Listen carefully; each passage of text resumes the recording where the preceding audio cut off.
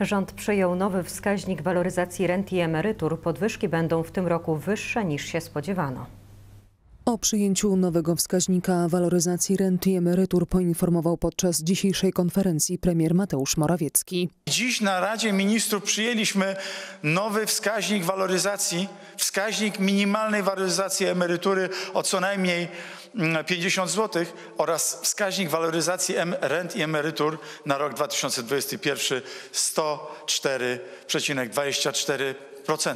To wyższy wskaźnik niż jeszcze parę miesięcy temu zakładał rząd. Wtedy mówiono, że będzie to 103,84%. To jest ta pomoc dla najsłabszych, dla emerytów, dla rencistów. Na emerytury rząd przeznaczy dodatkowy miliard złotych. Waloryzacja renty i emerytur nastąpi 1 marca.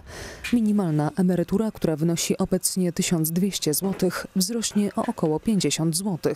Natomiast średnia krajowa emerytura wynosząca 2,5 tysiąca złotych będzie wyższa o około 100 złotych.